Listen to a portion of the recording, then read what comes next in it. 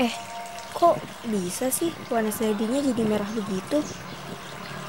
Assalamualaikum warahmatullahi wabarakatuh. Siapa kita? Generasi Muda Bolang. Halo semuanya, kami dari SMAN 1 Tambun Selatan. Saya Gina Zahra sebagai ketua. Saya Vila Mega Ina sebagai anggota satu. Dan saya Cinta Ratu Bunga Permata sebagai anggota dua. Kalian udah lihat klip sebelumnya kan? Nah, hari ini kami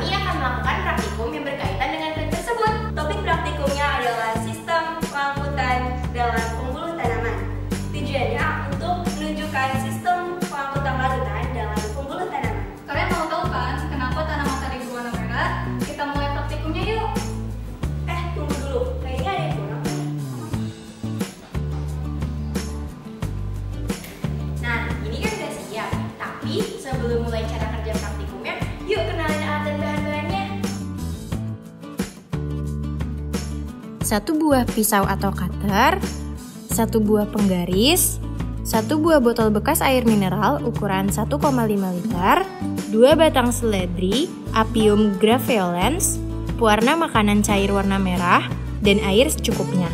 Nah, karena alat dan bahannya sudah di depan kita, kita mulai yuk praktikumnya Pertama-tama, ukur botol setinggi 15 cm dan 5 cm, lalu potong botol setinggi 15 cm.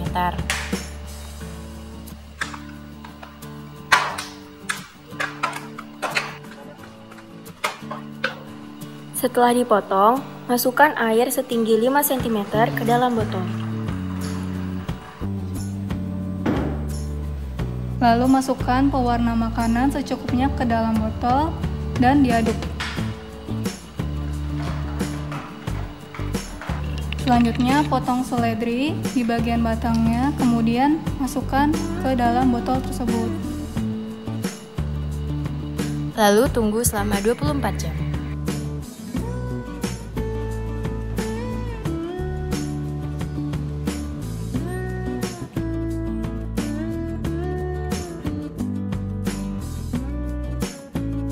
Udah 24 jam nih. Yuk kita amati apa yang terjadi dengan seledrinya. Pada waktu 0 jam, batang seledri berwarna hijau muda dan daunnya berwarna hijau tua. Batang dan daunnya masih terlihat segar karena seledri baru dimasukkan ke dalam larutan.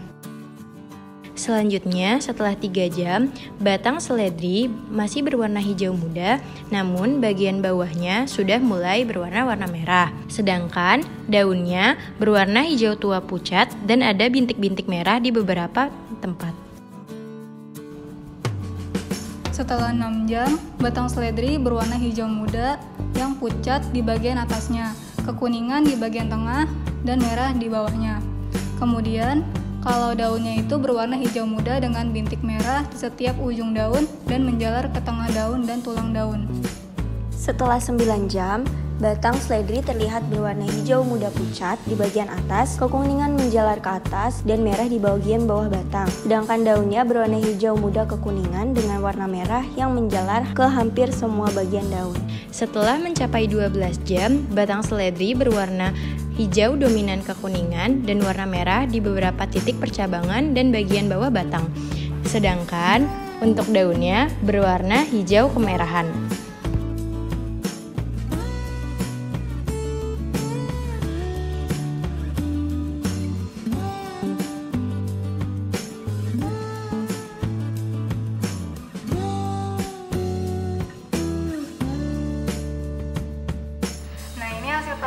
Kita selama 24 jam. Bisa dilihat kalau dari batangnya itu sudah mulai berwarna hijau kuningan Dengan bagian bawah yang sudah berwarna merah Dan merah di setiap titik percabangannya juga. Kalau pada daun, daun sudah berwarna hijau kekuningan. Kuningnya mendominasi terus agak pucat gitu. Di setiap ujungnya udah berwarna merah semua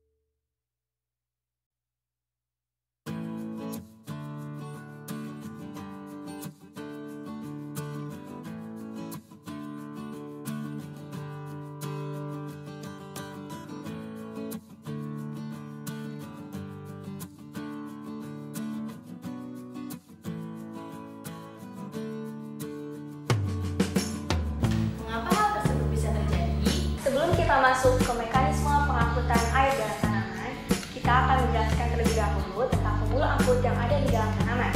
Pembuluh angkut dalam tanaman ada dua, yaitu silem dan floem. Tetapi, karena dalam praktikum ini berkaitan dengan pengangkutan larutan, maka kita hanya akan membahas secara detail tentang pembuluh silem. Jaringan silem terdiri dari berbagai sel-sel pengangkut air yang biasa dikenal dengan tracheic elements. Tracheic elements ini terdiri dari dua hal. Yang pertama adalah tracheic. Tracheic adalah satu-satunya jenis sel penghantar air dalam tumbuhan gymnospermae dan tumbuhan vaskular tanpa biji. Dan yang kedua adalah anggota pembuluh. Anggota pembuluh ini terdapat dalam tumbuhan angiospermae dan dicirikan dengan tidak adanya sel dinding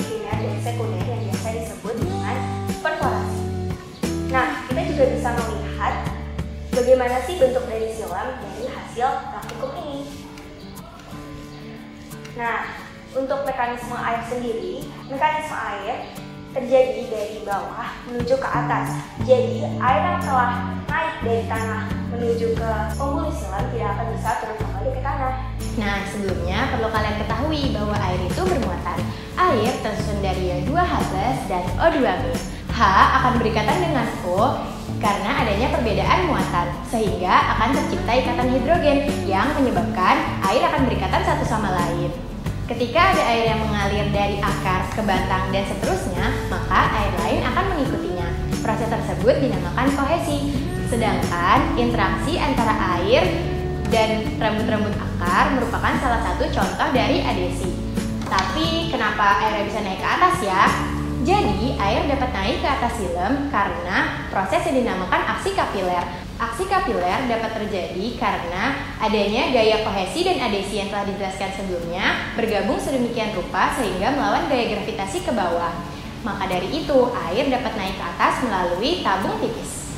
Rambut akar menyerap air yang mengandung mineral pelarut dari tanah dan berpindah dari sel ke sel melalui proses osmosis hingga mencapai epidermis, korteks akar, endodermis, dan sulem akar. Selanjutnya air akan masuk ke dalam silem batang dan menuju ke daun. Tanaman hanya menggunakan sekitar 1 hingga 2% air untuk proses fotosintesis. Air yang tersisa akan hilang di udara sebagai uap air. Air menguap melalui stomata pada daun dengan cahaya matahari sebagai pendukungnya. Proses penguapan air yang terjadi secara terus-menerus ini dinamakan transpirasi. Pada praktikum ini, air berikatan satu sama lain dan bergerak ke atas sambil membawa zat warna makanan. Tetapi zat pewarna tersebut tidak ikut ke udara. Hal ini bisa dilihat dari bercak warna yang terdapat pada dalam batang dan permukaan daun. Nah, bagaimana semuanya? Sekarang sudah paham kan tentang sistem ini bisa menambah wawasan kita semua ya.